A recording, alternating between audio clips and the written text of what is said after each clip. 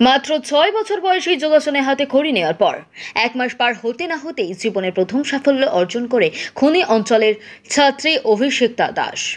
এক মাসের মাথাতেই জাতীয় স্তরে প্রতিযোগিতায় অংশগ্রহণ করে রাঁচিতে প্রথম হয় অভিষেক্তা এরপর আর কখনো পিছিয়ে ফিরে তাকাতে হয়নি তাকে। জীবনের প্রতিটি মুহূর্তে যোগাসনকে সঙ্গী করে একটার পর একটা বড়সড় প্রতিযোগিতায় সফল হয়েছে অভিষেকতা প্রায় প্রতিটি পদক্ষেপে যোগাসনে সফল হওয়া ওই ছাত্রী আজ রাজ্য তথা ভারতের বুকে যোগাসনে অনবদ্য সৃষ্টি করেছে।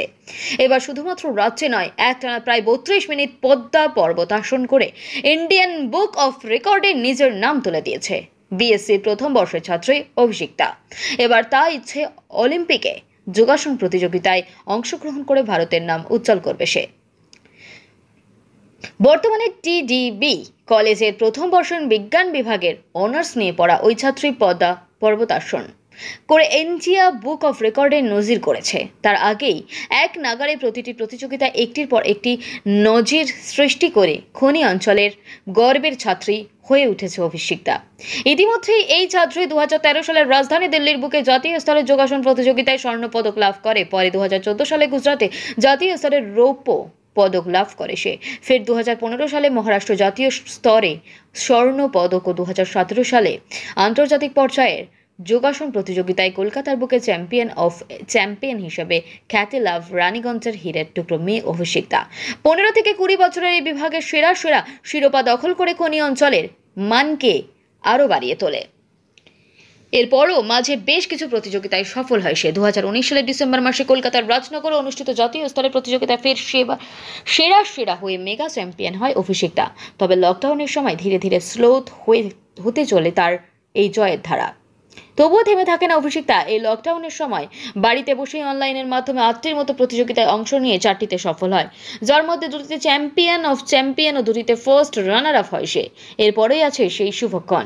দু সালের বাড়ির সদস্যদের কাউকে কিছু না জানিয়ে লকডাউনের পিরিয়ডে ইন্ডিয়া বুক অফ রেকর্ডের জন্য জুলাই মাসে আবেদন করে। বারোই জুলাই তারিখে যোগাসন প্রদর্শন করার জন্য তাকে নির্দেশ দেওয়া হয়। সে মধ্যে বারোই জুলাই সে যোগাসন প্রদর্শন করে। দীর্ঘ প্রায় তিরিশ মিনিট সাঁত্রিশ সেকেন্ড পদ্মা পর্বত আসন করে রেকর্ড গড়ে তোলে সে এখন তার একমাত্র লক্ষ্য কীভাবে নিজের এই সাফল্য বজায় রাখতে পারবে সে, তার ইচ্ছে আগামীতে অলিম্পিকে অংশ নিয়ে নিয়ে ভারতকে সোনা জেতাবে সে।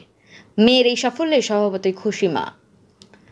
প্রচণ্ড প্রতিকূলতাকে কাটিয়ে উঠে মেয়ের সমস্ত ইচ্ছে পূরণের সমানভাবে সহযোগিতা করে চলেছে অভিষেক অভিষিক্তার মা। সমান তালে মেয়ে যাতে আরও এগিয়ে যেতে পারে, সেই চেষ্টায় লেগে রয়েছে মা।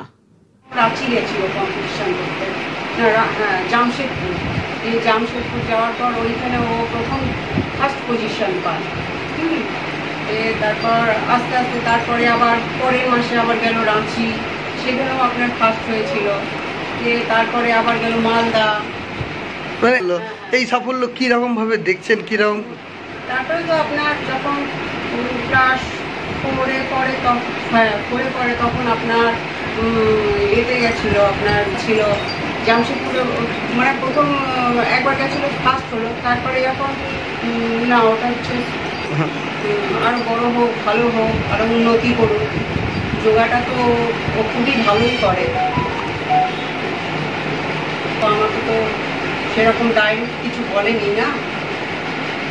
যে ইন্ডিয়ান বুক অফ রেকর্ডে যে ওনার যে নাম দর্জিত হলো এই বিষয়ে কি বলবেন? তো ভালো খবরই বটে তাই না? এটা তো ভালোই। আর দেখা যাক। অসুবিধাই তো একটু আছে। পরিবারটা একটু খাড়া ইয়ে তো ভালোই হয়। যদি কোনো সাহায্য পাওয়া যেত সরকার থেকে তাহলে তো ভালোই হতো। আপনার নামটা একটু বলবেন? হ্যাঁ? আপনার চিত্রা দাস।